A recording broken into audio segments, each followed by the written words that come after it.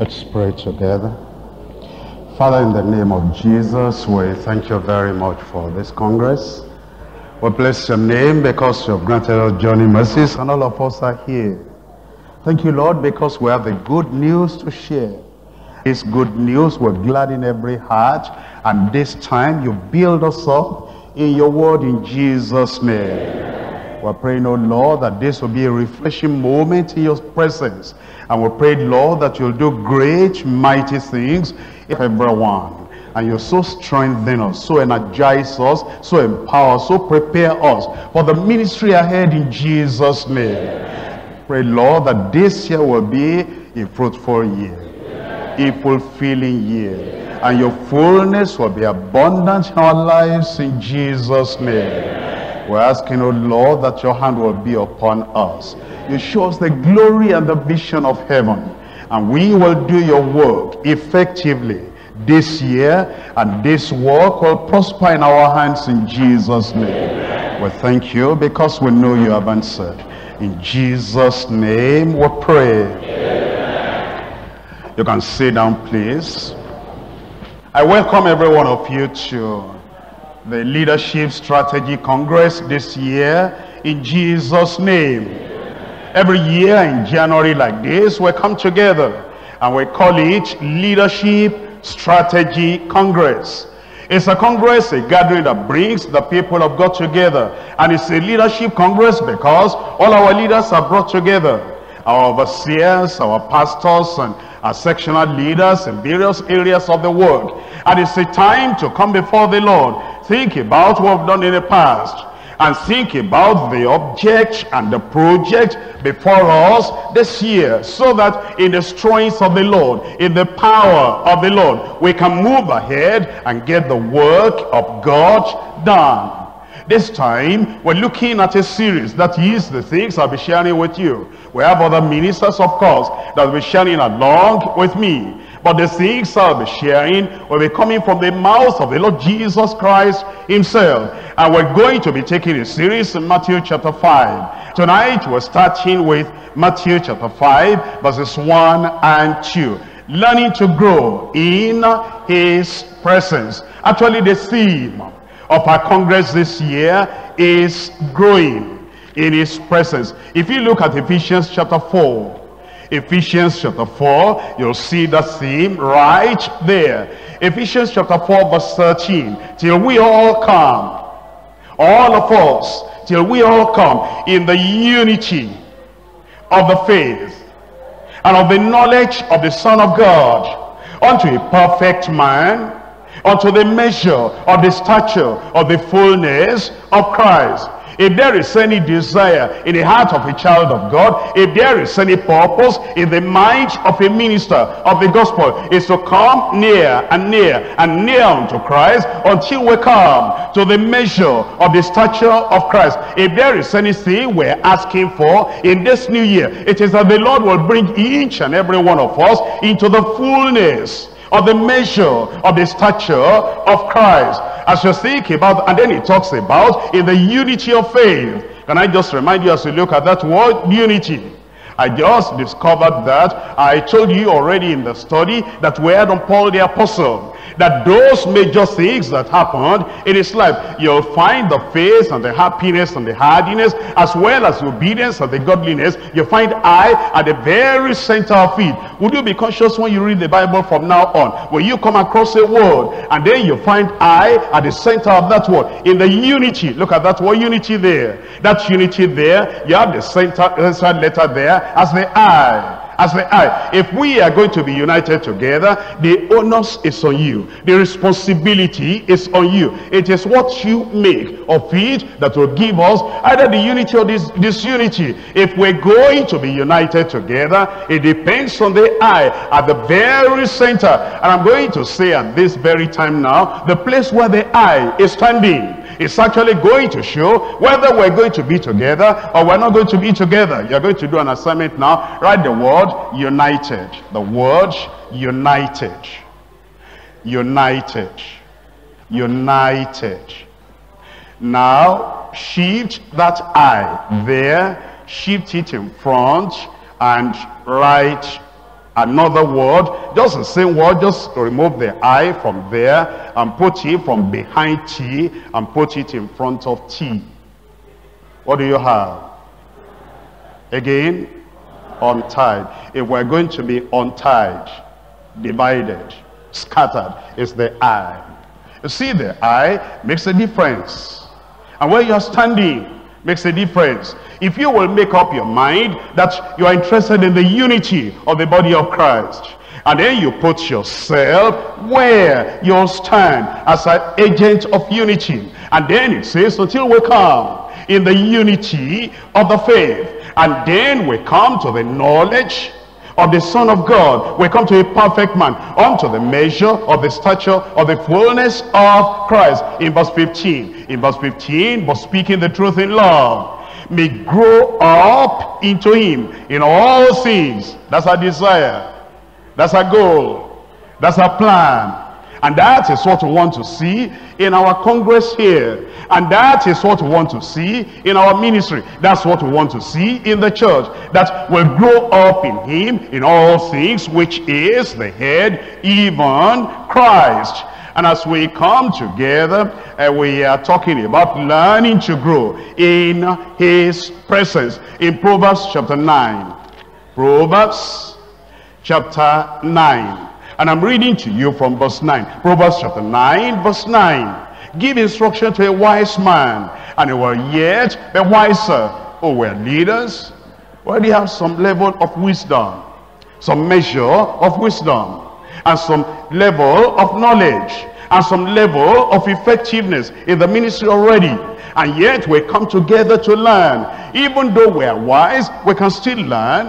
And it says to give instruction to a wise man, and he will yes be wiser. Teach a just man, and he will increase in learning.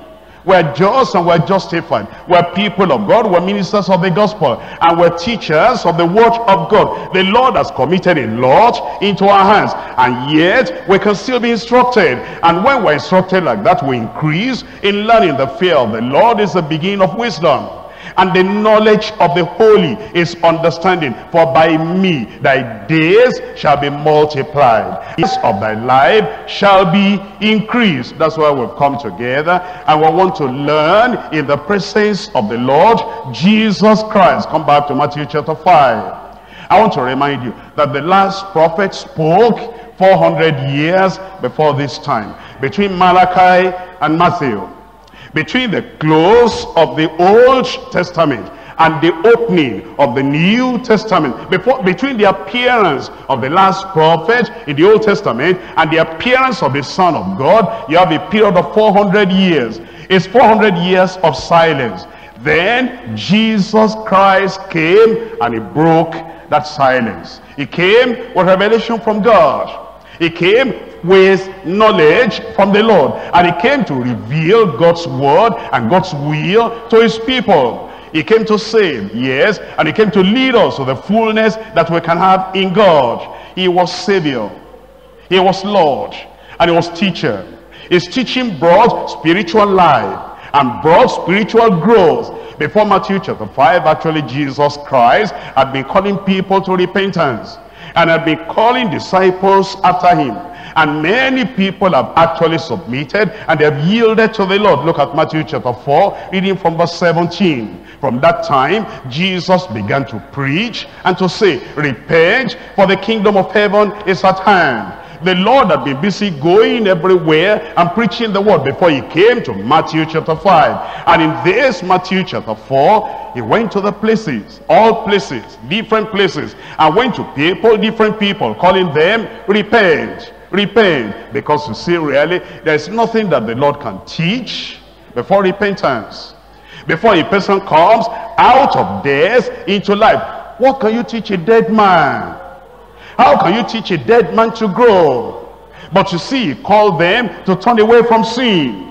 Because sin is the very reason and the cause of spiritual death. And he called them out of that death and to come into life. And as they were repenting, they were coming into life. They came out of condemnation and they came into life eternal. And then in verse 18, and Jesus walking by the Sea of Galilee saw two brethren, Simon called Peter, and Andrew's brother, casting a net into the sea, for they were fishers. And he saith unto them, Follow me, and I will make you fishers of men. And straightway they left their nets and followed him. They came out of darkness and came into the light. They came out of sin and they came to the Savior. They came out of death and they came to the light. And now that they came into life, he could teach them. Can I speak something to you as leaders in this church? You have a teaching ministry.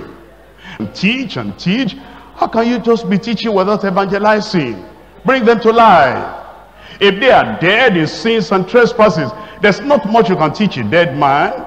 Preach the gospel, the good news that makes them to come out of death and they come into life. We're told in verse 21, and going from thence, he saw all the two brethren, James, the son of Zebedee, and John his brother, in a ship with Zebedee their father, mending their nets, and he called them, and they immediately left the sheep and their father, and they followed him. Actually, it means they left the past.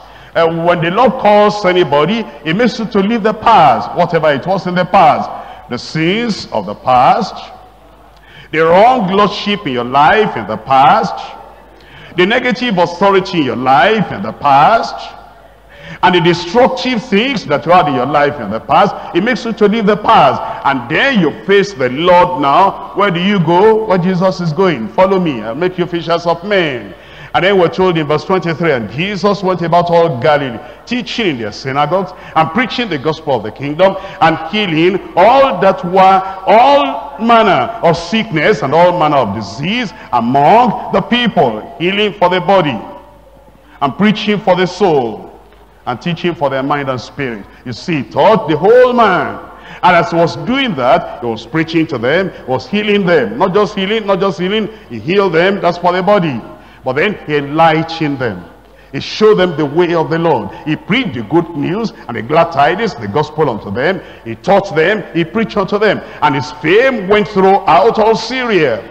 And they brought unto him all sick that were taken with divers different diseases and torments, and those that were possessed with devils, and those which were lunatic, and those that had the palsy, and he healed them.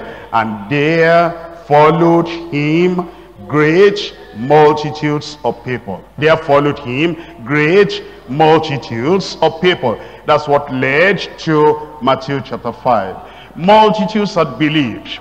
Now, he taught the disciples, he taught the multitudes, he taught the people. Three categories of people. One, he taught his disciples. Two, he taught the multitudes. Three, he taught the people. Matthew chapter 5, I'm reading from verse 1. And seeing the multitudes, he went up into a mountain. And, they, and when he was set, his disciples came unto him. And he opened his mouth and taught them. He opened his mouth and he taught them. When he finished the teaching, we read in Matthew chapter 7, verse 28 and verse 29. And it came to pass, he had ended these sayings, the people that's the people he taught. The disciples, the people. The people were astonished at his doctrine. For he taught them as one having authority, not as the scribes. And here we come to the presence of the Lord. And we are disciples of the Lord. Disciples are learners. And it's disciples that become apostles.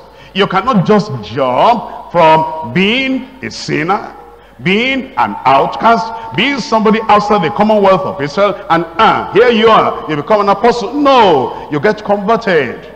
And then you become a disciple of Jesus Christ. He instructs you, he develops you, he trains you, and then eventually you become a saint one. That's an apostle. They came from being disciples to apostles. I pray the hand of the Lord will work and mold your life Days Congress in Jesus' name.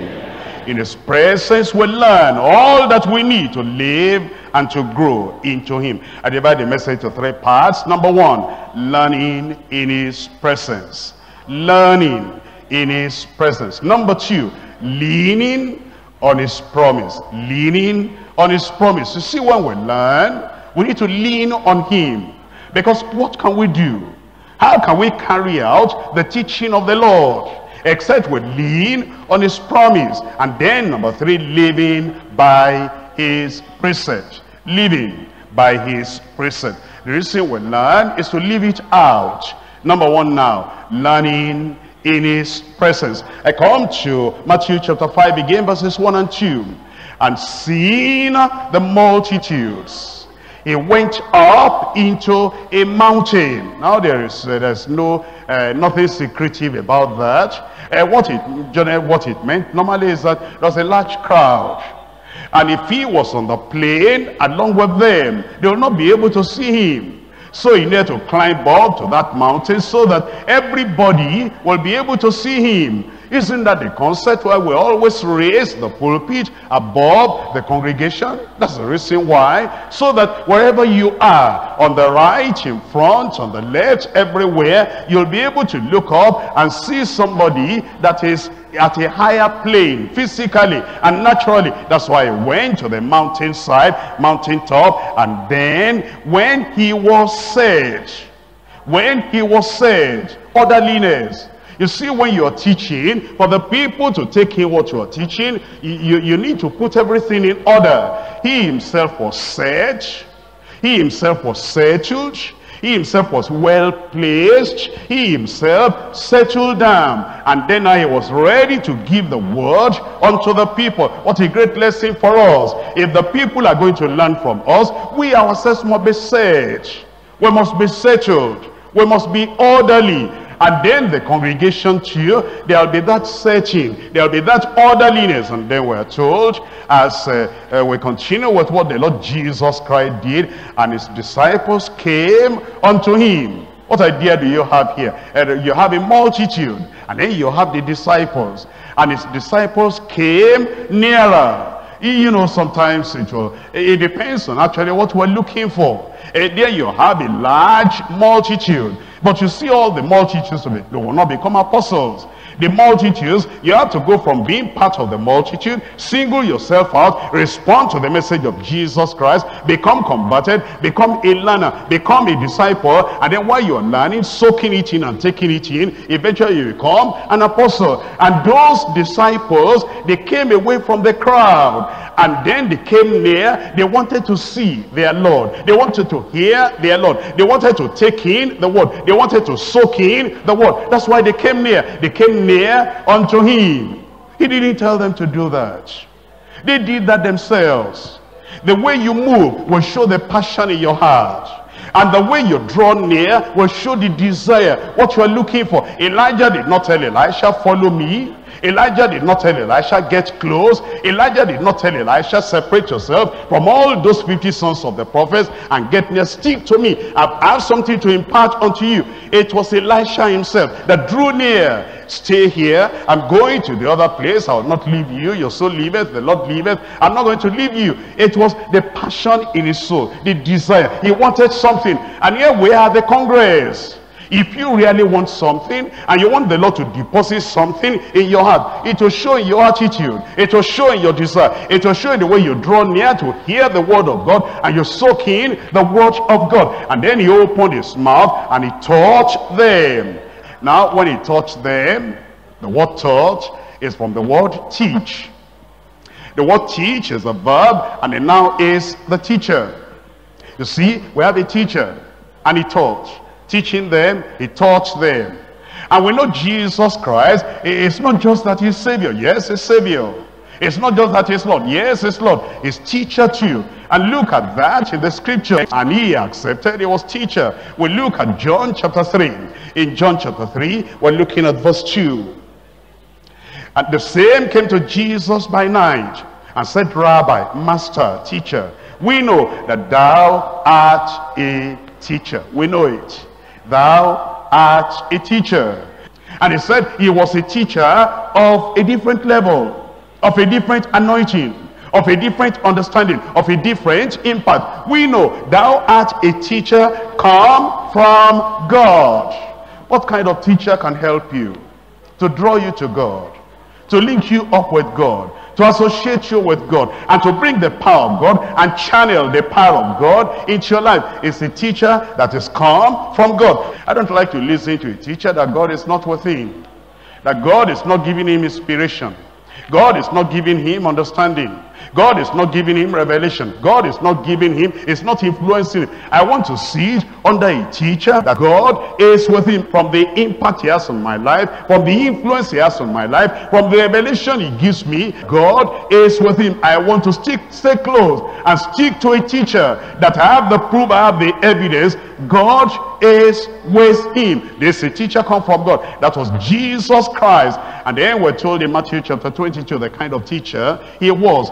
Teacher, yes, he was that. In Matthew chapter 22, verse 16. And they sent out unto him their disciples uh, with the Herodians, saying, Master, we know that thou art true and teachest the way of God in truth. That's why they listen to him. And that's why we need to listen to him. He is teacher. Yes, he's savior. Yes, he's Lord, but he's teacher too. And he teaches the way of God in truth. Neither carest thou for any man. I, I don't like a teacher that, you know, will be so much concerned with what people say that will not tell me the truth. Here I come and my heart is open. Here I come and I'm tender. Here I come and I say, tell me everything you want to tell me. And then the man that is thought, that ought to teach me is afraid of the people around him. I want the truth. And then he's pulled here and there, and he's a timid man, and he's a fearful man, and he cannot teach me, even though I'm willing to listen. He's too much afraid of what other people will say. Don't look at them, look at me. I want to learn. And because I want to learn, teach me everything that the Lord has given you to teach me. That was Jesus Christ. He was not afraid of the people around him. Therefore, he cared, he cared not for any man. For thou regardest not the person of men. That's the kind of teacher he was. And that's why he was effective. And we're told in John chapter 8 John chapter 8. Everybody recognized him. He was teacher. John chapter 8, I'm reading from verse 2. And early in the morning, he came again into the temple. And all the people came unto him. And he sat and taught them. And he settled down and he taught them. And he composed himself and calmed down and he taught them. And he settled everything and focused all the attention on the teaching of the word of God. And he taught them. How I pray that God will make us teachers like this. That this time, the impact of Jesus and the influence of Jesus will so come upon you that you will settle, you will know there's no other thing to do. Be a teacher that is come from God. And then you are able to teach the people. In verse 28, then said Jesus unto them, When ye have lifted up the Son of Man, then shall ye know that I am he and that I do nothing of myself, but as my Father has taught me, I speak these things. What do you learn from there? As my Father has taught me. So I speak this thing. He was teachable. That's why he became a teacher come from God. We're not going to be effective teachers except we ourselves are teachable. He was taught by the Father. And because he was taught by the Father, and he heard the Father, he listened to the Father, he accepted the word of the Father, then he became the teacher sent from God. In Matthew chapter 26, I'm reading from verse 55. Matthew chapter 26, verse 55. In that same hour said Jesus unto the multitudes, Are ye come out as against a thief with swords and staves for to take me? I sat daily with you teaching. I sat daily with you teaching. I sat daily with you teaching. Uh, why did Jesus do so much in three and a half years? Oh, because he didn't limit his teaching to Sunday. He didn't limit his teaching to Monday. He didn't limit his preaching to Thursday. I sat daily, every day. If you did that, there'll be somebody that will call you and pull you by your, by your, by your coat and say, take it easy. Which day do you rest? Are you doing this thing every day? Are you going to finish the whole job in one year? Take it easy. That's what they say. But you know, Jesus Christ said, I did it daily. I sat with you daily. Any day he wasn't sitting and teaching them, it was a day that was lost. He missed he will never miss a day like that. He'll get up. There was a synagogue somewhere, a temple somewhere, a mountainside somewhere, a house somewhere, an open, open air somewhere. He went everywhere. Every day he was teaching. And you say, how could he do that? Oh, well, he did that in the strength of the Lord. And he's passing that across to us as well, that we will do exactly the same thing. And actually the disciples followed after that and they just went every day teaching the word of God. And then I bring it to you as well, that you are leaders and the Lord has brought you here. Don't wait for the day of meeting before you teach. Look at Jesus Christ in that verse 55. I sat daily with you teaching in the temple. And ye lay no hands on me. As you look at the ministry of jesus and how jesus taught what do you learn? Number one he taught without fear without favor he taught without fear without favor if you are going to be like jesus you'll teach without fear without favor look up here. Uh, there, there's no crowd you can gather together. Uh, there'll be you know there'll be good people there there'll be bad people there There'll be people there, their marriages are right. There, some, some people, their marriages are not right. There'll be people, no matter what you say, if you're going to preach the word of God, it will strike at somebody there. There's no way you can avoid that. And if you're, you know, so timid and fearful, and you want to favor this and fear that one, you'll never be a teacher that will transform the lives of people. But number one, Jesus Christ taught without fear, without favor. Now when you're teaching, eh, whatever you mention, if you mention drinking alcohol, there'll be somebody in a crowd of 5,000 that's a drunkard. If you mention stealing, there'll be somebody in a crowd of 5,000 that is stealing. If you mention adultery, there'll be somebody in a crowd of 5,000 that is committing adultery. If you mention whatever you mention, there'll be somebody in a crowd of five, even 1,000. There'll be somebody in a crowd of just 1,000 that is not living right. If you're afraid, what are they going to say? You're not going to say anything. You better go ahead then and give yourself the freedom and cut off all the cords that are tying you and pulling you back and teach like Jesus Christ, number one, without fear, without favor. Number two, he taught with focus and freshness. You see, Jesus Christ, when he taught, he had a focus. I'm going to bring these people from Satan, from the hand of Satan. I'm going to bring them unto God. I'm going to lift up these people from the valley in which they are. I'm going to bring them to the mountain top of glory. I'm going to take these people away from themselves. I'm going to bring them to the Lord Almighty. He had a focus when he taught. And because of that focus, that's why he did what he did in those three and a half years. And then there was freshness upon him. He was not stale. He was not teaching. Even when he said the same thing he said before, he was still fresh. He taught with focus and freshness. How you should be able to learn from the Lord as leaders. That when you stand up and when you preach the word of God, there'll be focus, there'll be freshness. Number three, he taught with firmness and finality with firmness and finality. Did you listen to the Lord Jesus Christ? This is what he said before, but I say unto you. And after what he said, there's no other thing to say with finality. We ought to teach we ought to tell the people the truth in such a way that uh, we're not telling them something that, well, maybe there's an alternative. There's no alternative to salvation. There's no alternative to holiness. Without holiness, no man shall see the Lord. There's no alternative to the power of the Holy Ghost. There's no alternative to the second coming of the Lord. Behold, I come again. You teach with firmness and finality. And when you are taught, the people know that this is the word of the Lord. And it is firm and it is final. Number four, he taught with faith and forbearance. He taught with faith and forbearance. Yes, he knew that they were slow to learn, many of them, but he kept on believing.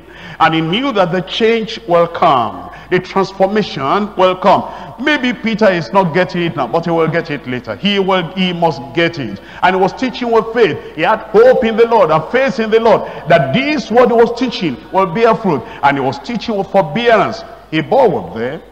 He was patient with them. And then number five, he taught freely and fully. Freely and fully.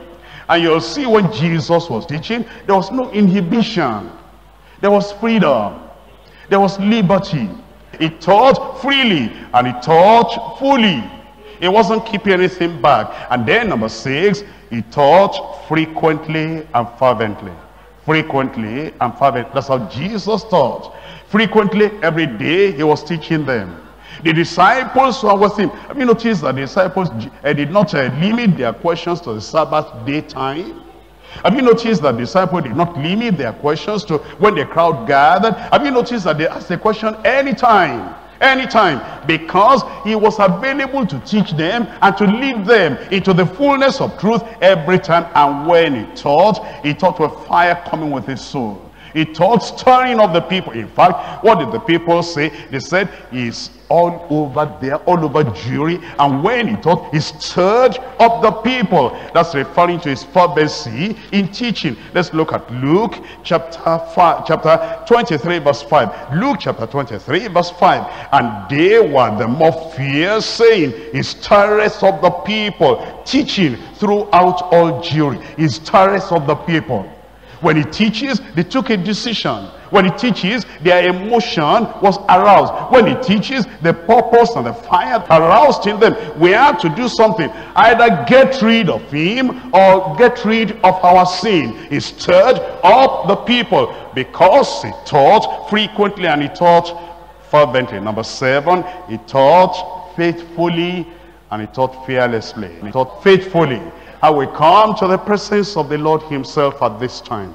And we want to allow him to open the pages of scripture and to open the mind of God unto us and to open the windows of heaven and drop within us doctrine, teaching, instruction like rain and dew and the freshness of the instruction coming from on high to come within us and take all the dryness all the weariness and all the tiredness spiritually. Take everything away and make us come alive through the teaching of the Lord in Jesus name. And I pray it will happen in Jesus name. As we come to the presence of the Lord it brings life eternal. When you listen to him, it brings spiritual growth. When you listen to him, brings fulfillment and fullness. I come to point number two. Leaning on his promise. In Matthew chapter 5, I'm reading from verses 1 and 2 again. Matthew chapter 5, verses 1 and 2. And seeing the multitudes, he went up into a mountain. And when he was set, his disciples came unto him. And he opened his mouth and he taught them. What's the difference between Jesus Christ, the teacher, come from God, and Moses, a great teacher too, and David, a great teacher too, and Daniel, a great teacher too. What's the difference between them? When the words of Jesus came out, it came out with the power to accomplish what the Lord expected. He taught them, they gave them knowledge, they gave them instruction. It was now in their hand to find how they are going to be able to make it, to obey the word of God they are teaching them. In the case of Jesus, he had the teaching and he had the transforming power. And therefore, when they listened to his teaching, they relied on him. And as they relied on him, then there was the power to carry out what the Lord Jesus was teaching them. We need to lean on the promise of God. And what are the promises we have? Deuteronomy chapter 31, verse 12. Deuteronomy chapter 31. I'm reading from verse 12. Gather the people together. Gather the people together. The men and women and children. Teach everyone. Say they're too young to learn. Gather the children with them. Gather the women with them. Oh, the women, they are, many of them are semi-illiterates. Gather them together. Gather the men along with them. Uh, the men, they're too busy trying to get make ends meet for their family. Gather them together. The men, the women, as well as the children, and a stranger that is within thy gates that they may hear and that they may learn. That's the purpose. That they may hear and that they may learn. And fear the Lord your God and observe to do all the, this law. The reason why we teach is not just to fill our heads with knowledge. It's to transfer that thing uh, from the head, about 18 inches down into the heart, that they may learn and observe to do all the words of this law. And to do that, we have to lean upon him, rely upon him. We have to do everything. And we cannot do anything, not to talk about everything, in the power of the human mind. We have to do it in the power of the Lord. That's why we rely on him and lean upon him. Reckon that it's possible because we have faith in him. In Philippians chapter 4 verse 9. Philippians chapter 4 verse 9. Those things which ye have both learned. You learn it first. And received and heard and seen in me. Do. That's the bottom line. That's the goal. It's not what you know, it's what you do.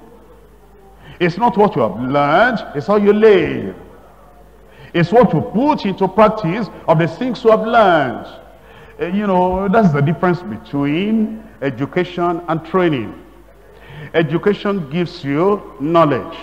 Education gives you information. Education gives you instruction. Teaching develops you to practice, to do. Training, rather. Training develops you to do. And so that's the reason we need to join education with training. Not just education. And when you think about many of us, we have the education in the Word of God. We have the instruction, the information in the Word of God. But then to now have the training and the power and the strength to be able to do all that the Lord has called us to do. To do it to practice it. So that you've gone beyond just being educated in the Word of God. You've gone to training. Now you know how to do what the Lord demands of you. It says in that verse 9, those things which you have both learned and received and heard and seen in me. Do you see that process? And wouldn't that be the process the disciples saw? They learned in the presence of Jesus. They learned something. They received something. They heard something. And they saw something. And that's what they want to go out and do. And the God of peace shall be with you. Then we're told in John chapter 13. John chapter 13. We're reading verse 17. John 13 verse 17. If you know these things, if you know these things, up here, if you do them, if you do them, and that's why, uh, you, you, know, a, a, Christian cannot just do like uh, we do at school. Cram the, uh, the, the, message. Cram, me, you know, memorize the message. Memorize the sermon. Memorize the verses. That's good. But that won't do it. Just having it in the head to cram it up doesn't solve the problem. It has to be transferred and move our hand to do something. And move our feet to go somewhere. And move our mouth to say the right thing. And move our, our enthusiasm, move our personality out of where we are into where we ought to be. The word of God we're hearing should push us and motivate us and lead us to do, to do something. That's why the Lord said, if ye know these things, that's not the end. If ye know these things, that's not the ultimate. That's not the goal. It's just a means to an end. If ye know these things, happy, blessed are ye, if ye do them. The things you have heard, how are you? How are you doing them? if we will measure what you know, if it were possible to put everything you know on the scale of a balance, and then what you do in comparison with what you know, if we were to put it on the other scale of the balance, does your balance stay in equilibrium?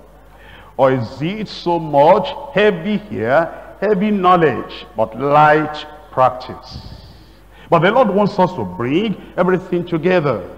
That what you know and what you do will come to the same level and the scales of the balance will be at the same level. You know it, you do it. That means you pray. That means you have the grace of God in your life. That means you have the supernatural influence in your life and you are able to do. If you know these things, happy are you if you do them. Uh, John chapter 15 verses 4 and 5.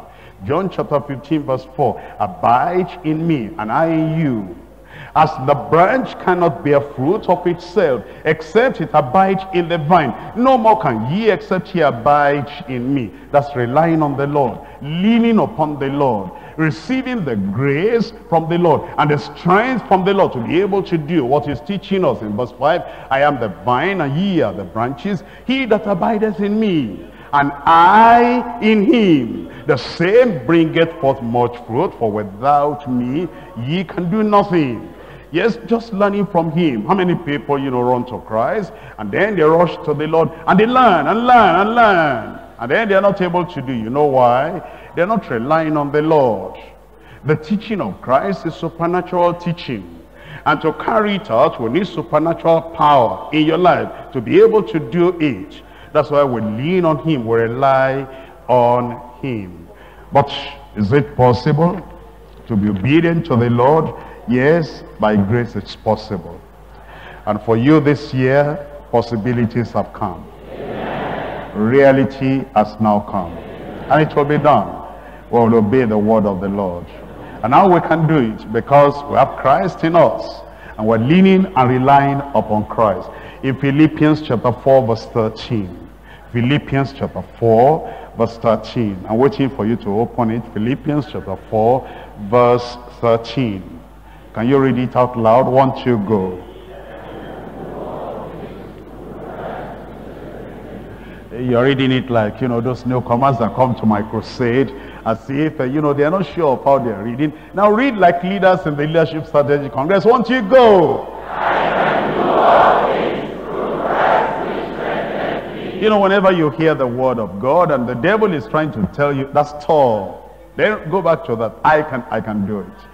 I can do all things through Christ which strengtheneth me. Strengtheneth me. It's strengthening me all the time.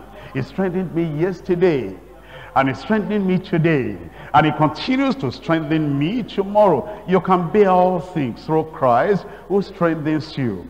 You can do all things through Christ who strengthens you. You can obey every word of God through Christ who strengthens you. I can do all things through Christ who strengthens me. Don't talk about impossibility in your life. You hear the word of God. Don't go back like those people who can do this. Of course we can do it. I said we can do it. And we're going to do it in Jesus' name. Here Paul the apostle said, I can. I can. Other people say, I can't. Remove that T. I can. I said I can. Every day I can. I can. Every time I can. In all situations I can. That's faith, that's faith, that's faith. When you hear the word of God and the devil is trying to tell, this is high, this is great, this is marvelous. Who can do this? I can do all things through Christ, which strengthens me. It has happened already. In Romans chapter 8, leaning on his promise. Romans chapter 8, verse 3 and verse 4. For what the law could not do, in that it was weak through the flesh, God sending his own son in the likeness of sinful flesh, and for sin condemned sin in the flesh, that the righteousness of the law might be fulfilled in us, who walk not after the flesh, but after the spirit. There's a power now that is working within us. That power throughout this year will work in your life. First Thessalonians chapter 2 verse 13. First Thessalonians chapter 2 verse 13. For this cause also thank we God without ceasing, because when ye received the word of God, which ye heard of us, ye received it not as the word of men, but as it is in truth, the word of God, which effectually worketh also in you that believe, which effectually worketh in you that believe. When you believe, this work is going to work in your life. Ephesians chapter 3, verse 20. Now unto him that is able to do exceeding abundantly above all that we ask or think according to the power that worketh where? The question to ask yourself is, as you come to this congress and you hear the word of God and you come to learn in his presence, do you take that word and then you become afraid and say, but I cannot do this? Do you realize there's a power from the Lord coming along with the word that worketh in you? And because that word works within you, whatever you are hearing from the word of God, you can say, although this word is higher than the level I am now, this word is greater than the things I've achieved up to this time. And this word is demanding of me much, much more than I've ever done in my life. But thank God, I'm going to pray on this word. And I believe that I'm praying unto him that is able to do exceeding abundantly above all that I ask or think. And then it says, according, according, according to the power that worketh in me, that power will work in you.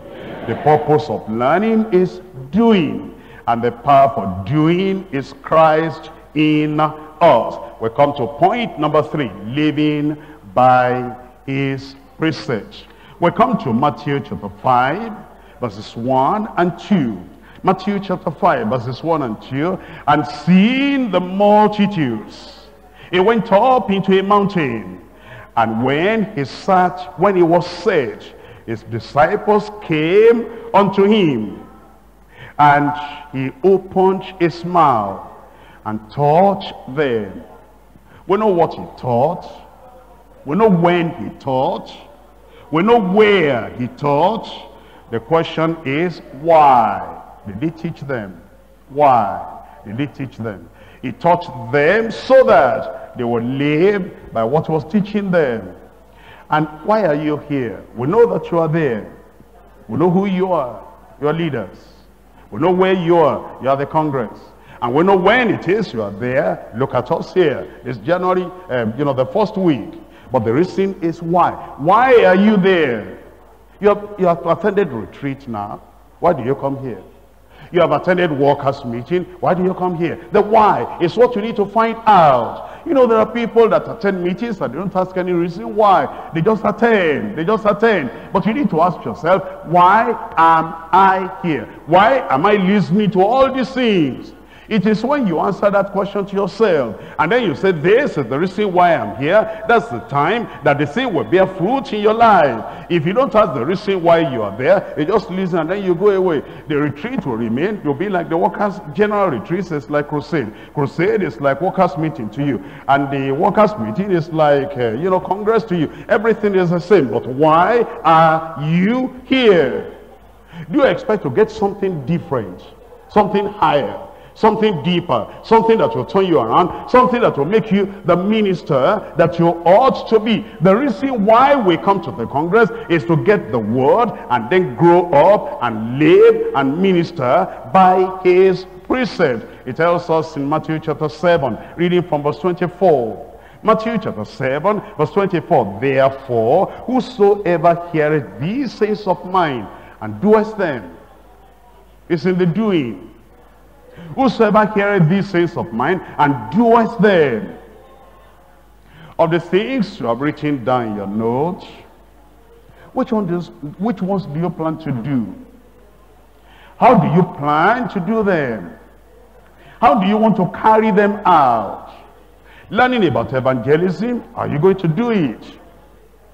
Learning about obedience to the heavenly vision, how are you going to do it? It's a doing. It's not just a hearing. He that heareth these words of mine and doeth them, I will liken him unto a wise man, which built his house upon a rock. and the rain descended, and the floods came, and the winds blew, and beat upon that house, and it fell not, your house will not fall. Your spiritual house will stand in the time of the storm in Jesus' name. And then it says, for it was founded upon a rock. Ah, it was founded upon a rock. Somebody wants to build. And it brings all the blocks, all the stones, all the cement, all the sand. Another one also wants to build. And it brings exactly the same blocks, the same cement, the same sand, everything the same. But this other one, when he came, he started putting block upon block, doctrine upon doctrine, creed upon creed, instruction upon instruction, message upon message. But he didn't dig, to dig into your own heart and to pray it in he has all the blocks and all the messages. He has all the cement and the sermons. He has all the sand as well as, you know, all the precepts. He has them on paper, but he doesn't dig deep inside. But the other fellow, having the same doctrine, having the same message, having the same truth that we have learned together, he digs deep. He says, Lord, I dig into my heart. And I see this ought to be done. This is where I am. Lord, do something. My relationship with my wife.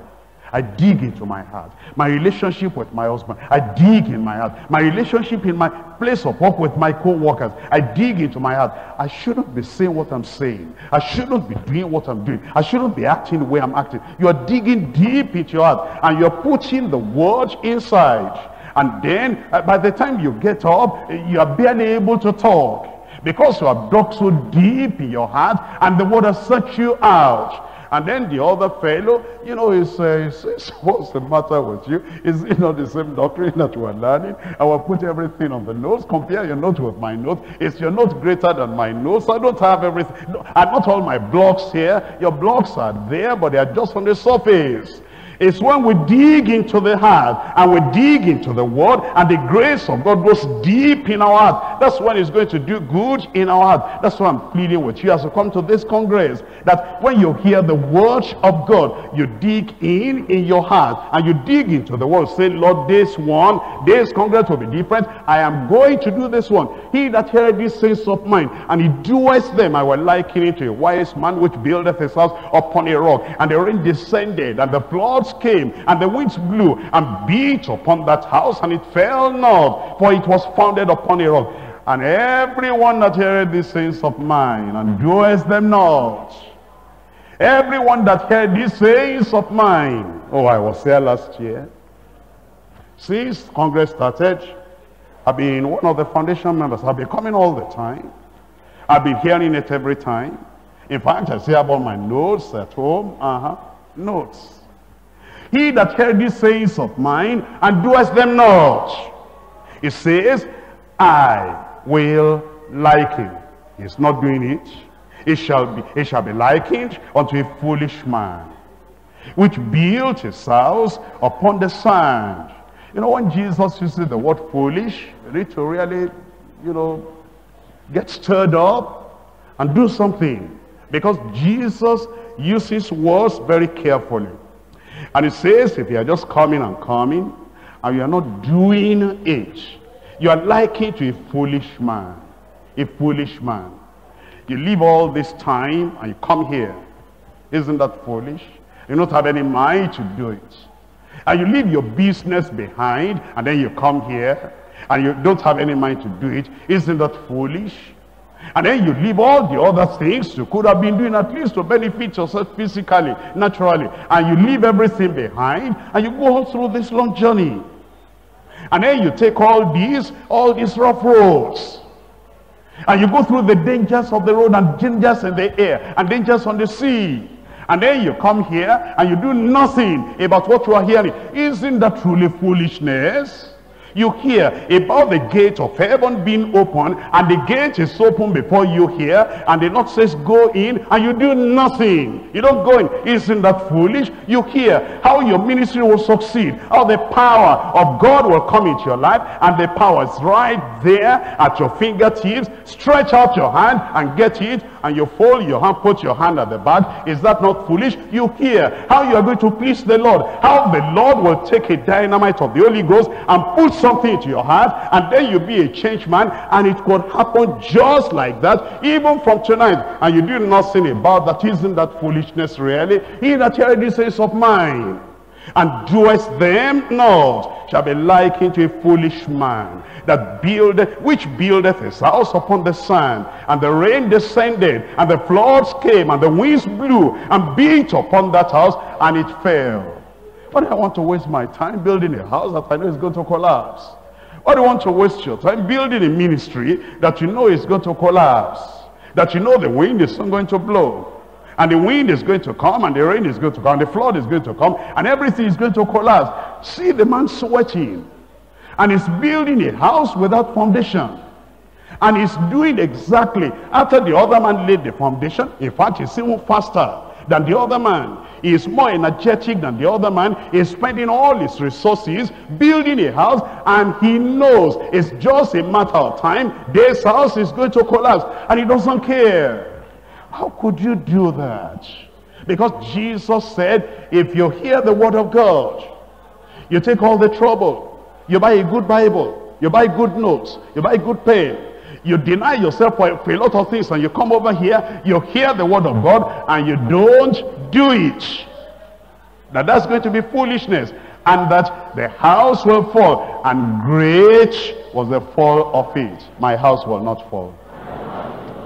That means you'll do something about it. In John chapter 8, John chapter 8, reading from verse 30.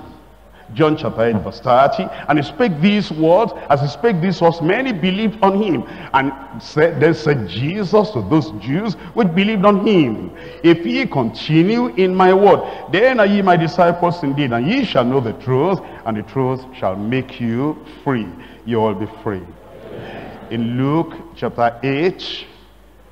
Luke chapter 8.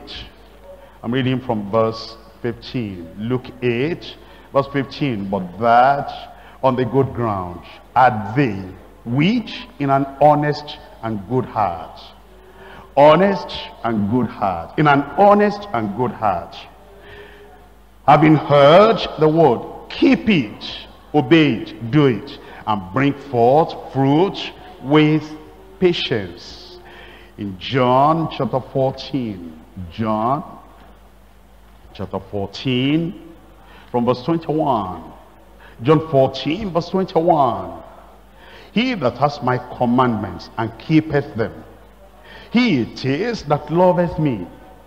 And he that loveth me shall be loved of my Father. And I will love him and will manifest myself unto him. What a great promise.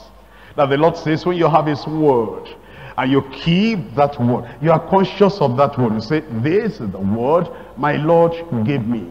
This is the word my Lord taught me. I'm going to hold it dear unto my heart. And I'm going to keep the word. If the Lord is precious to you, his word will be precious to you. If the word, if the Lord is dear to you, his word will be dear to you. If you don't want to lose the fellowship of the Lord, you'll not want to do without the word of the Lord. He that has my word, and he keeps my word, and he girds my word, and he obeys my word, and he lays according to my word. He it is that really loves me. And then my Father and I will love him, and we will manifest and reveal ourselves unto him. Revelation chapter 22 in Revelation chapter 22, reading from verse 14. Revelation 22, verse 14. Blessed are they that hear his commandments. Is that it? What does it say? Read it yourself. Read it out.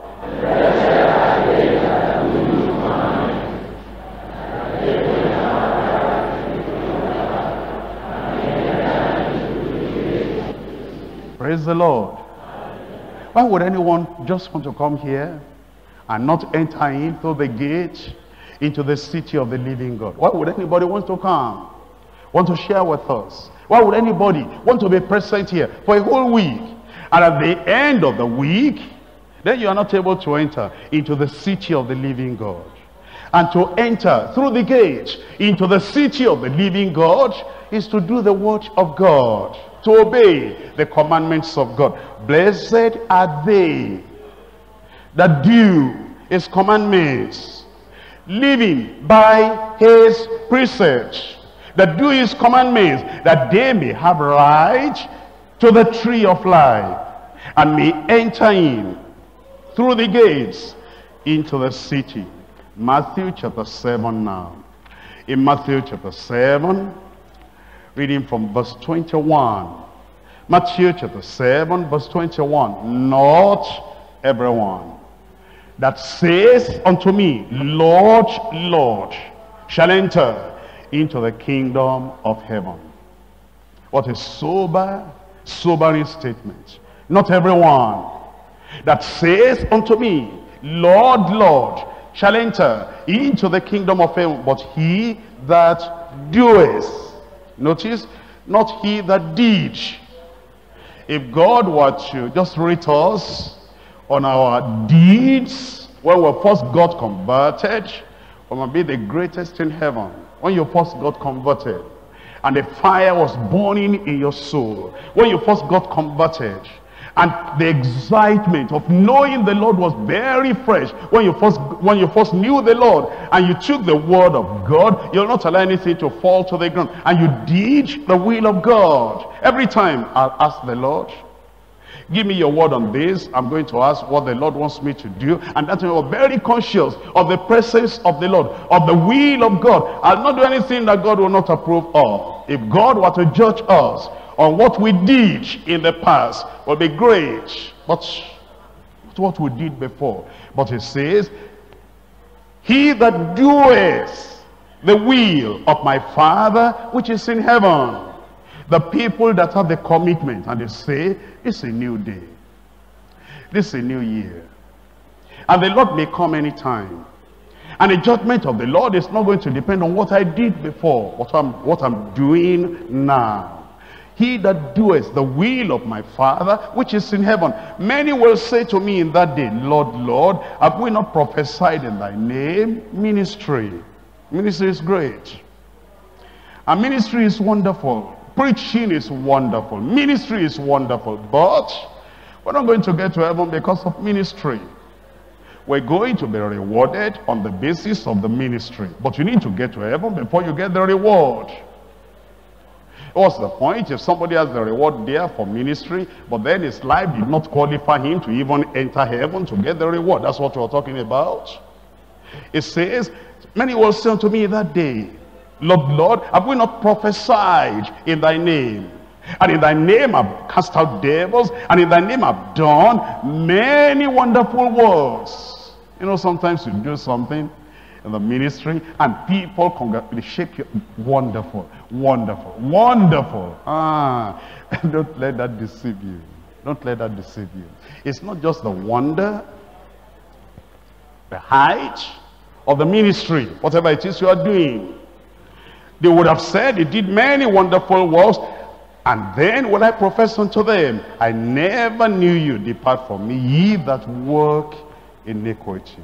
The Lord is calling us and the Lord is saying, we have come here to this Congress. And we have come to learn to grow in his presence. I'm making up my mind. This conference, this Congress would contribute to my spiritual growth. And I'm going to allow the word to do something in me that the word will get me up, move me forward, and do something that I've not done for the Lord before. And this word of God will work in your life. Amen. You will do something. This will make a mark a difference in your life. You will not just hear, you will do. Can I have a good amen? amen? Why don't you rise up then and commit yourself to this? That Lord will come in the unity of the faith so that we'll be able to do what you're calling us to do Open your mouth, talk to the Lord. You came to learn. You came to learn. You came to learn. And the Lord wants you to really learn. And learn to do. And learn to do. Learn to do. Do the word.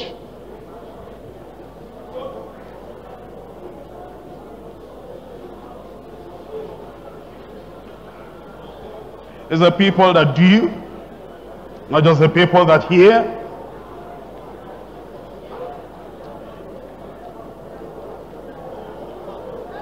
To do it.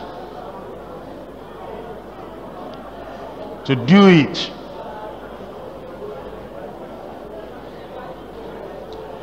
Learning in his presence. He was a teacher.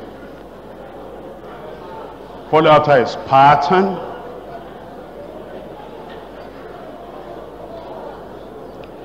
Follow after his steps. Follow after his example. Follow after his model.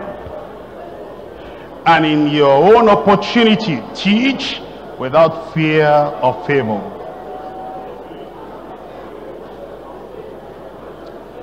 You're building, don't build on the sand. Dig down deep in your heart. Don't just put the blocks of teaching, the blocks of messages. Don't just put them on the note.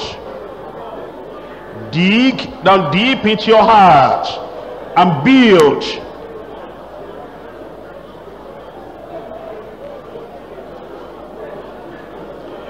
Teach with focus. Learn with focus. And freshness.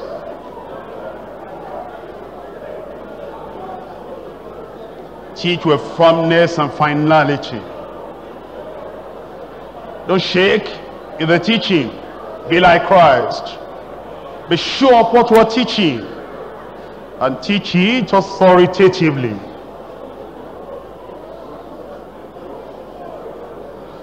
teach with faith and forbearance.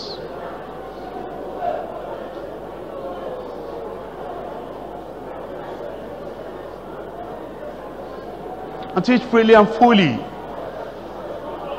Where the Spirit of the Lord is, there's liberty.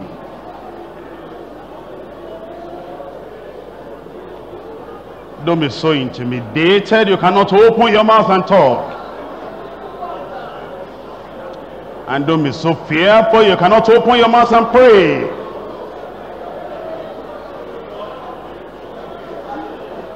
And teach frequently and fervently.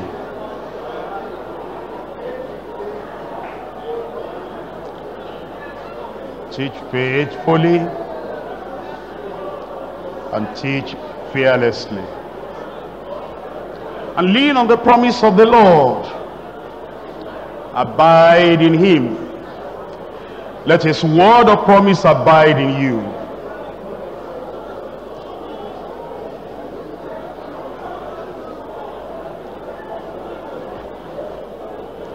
And know that I can do all things through Christ who strengtheneth me, who keeps on strengthening me day by day, moment by moment. The strength of the Lord is there. we can because it lives within us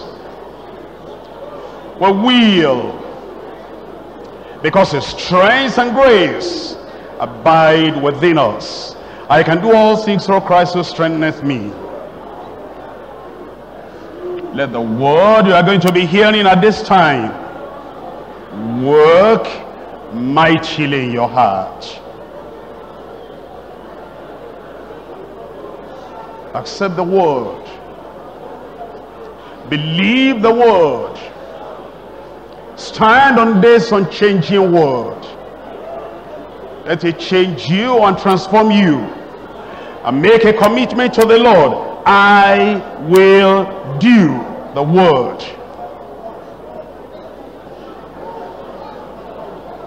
I will. I will. That's the secret of learning to grow in the presence of the Lord until we'll come the unity of the faith unto the measure of the stature of the fullness of Christ. Make a commitment to the Lord. I can do. I will do. I must do. I can do all things. I will do all things. I must do all things. I can do all things through Christ. I will do all things through Christ. I must do all things through Christ. I can do all things through Christ who strengthens me. I will do all things through Christ who strengthens me.